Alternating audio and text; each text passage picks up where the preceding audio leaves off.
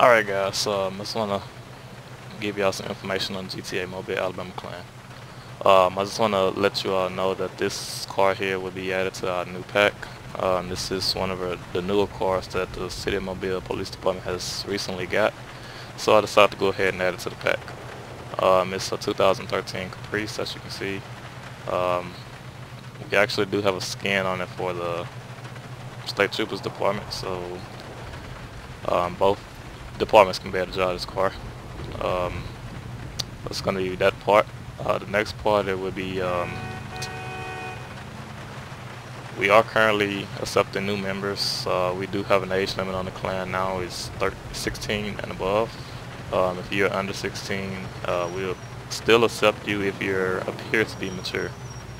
Um, like I say, if your behavior decides to change, then also we can make changes on if you're here or not.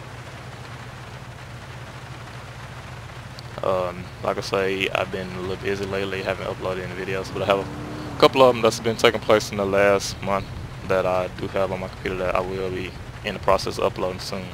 So, um, like I say, just uh, sit tight and uh, the GTA Mobile Alabama clan is still up and running. Um, anybody interested in joining, then just click that link in the description and um, sign up. Uh, we're very active. We have patrols pretty much every day. Um, like I say, we only accept mature members here. So if you're not going to be mature, then just don't even waste our time signing up.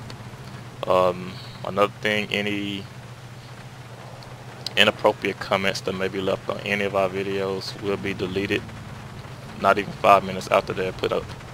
Um, like I say, we're mature people here, and um, like I said, we respect you, so we expect the respect back. And um, we're putting these videos out here so you guys can enjoy them. Um, if you don't like the videos, then you don't have to watch them.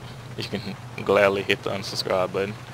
Um, other than that, uh, for you all that do like the videos, um, we appreciate the support that you leave to us, and um, we're going to continue to put out videos.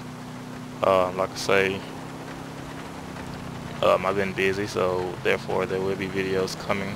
Um, we have a lot of stuff that we're planning on doing with the clan now, so uh, it's a lot of changes that have been made. Uh, we're starting out with new supervisors and everything's running smoothly, so like I say, just stick tight and um, there's more to come with the GTA Mobile Alabama clan. No whisper target found. No whisper target found. No whisper target found.